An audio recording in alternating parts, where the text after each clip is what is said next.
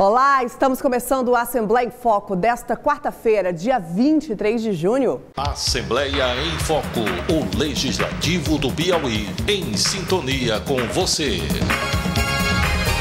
O deputado João de Deus do PT destacou o andamento de obras de estradas no Piauí.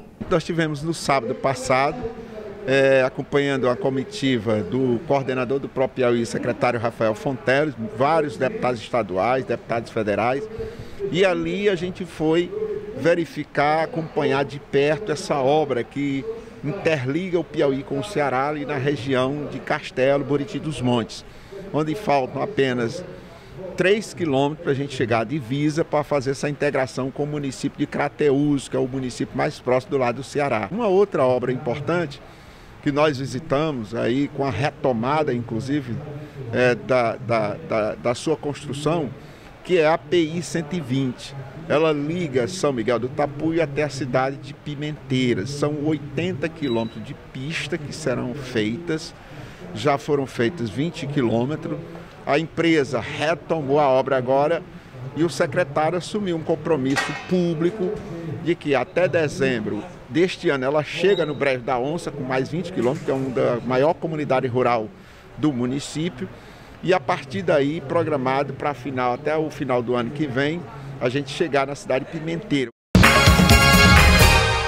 Foi aprovado em plenário a PEC do presidente da Assembleia Legislativa, deputado Temístocles Filho, que autoriza os deputados a destinarem recursos de emendas diretamente às prefeituras. Essa emenda à Constituição do Piauí, nós estamos adequando a Constituição do Piauí à Constituição Federal. O que é que significa?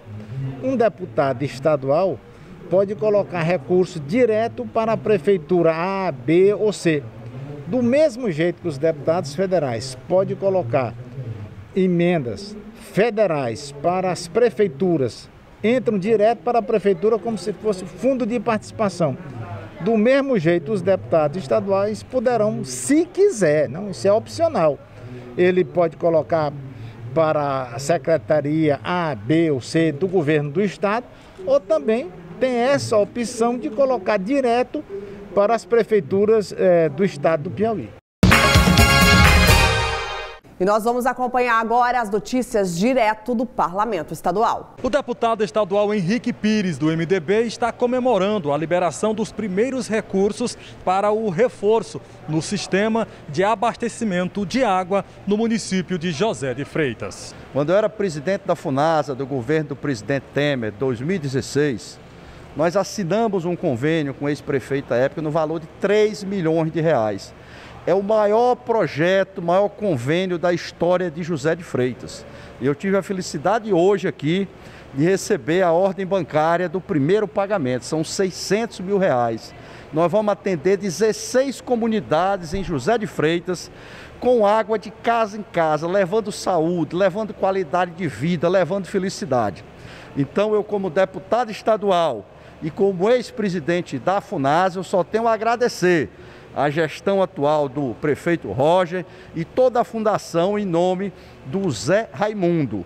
Acompanharei essa obra não só como deputado estadual, mas como engenheiro, olhando a obra passo a passo para que atenda a comunidade de José de Freitas, as 16 comunidades, da melhor forma possível. Vamos agora para os novos dados sobre a Covid-19 em todo o Piauí. Segundo o boletim divulgado pela CESAP nesta terça-feira, dia 22 de junho, foram notificados no estado 292.045 casos confirmados de Covid-19, totalizando em 6.442 óbitos, 223.116 casos descartados e 284.877 recuperados. Nós estamos ficando por aqui para acompanhar essas e outras informações sobre as ações do Legislativo Estadual. É só acompanhar a programação da TV Assembleia no canal 16.1. Estamos também na SkyHD pelo canal 316.1, na Vivo pelo canal 9, NET pelo canal 7 e na Oi TV pelo canal 215. Além da nossa rádio Assembleia na frequência 98,3 FM e no site alep.pi.gov.br.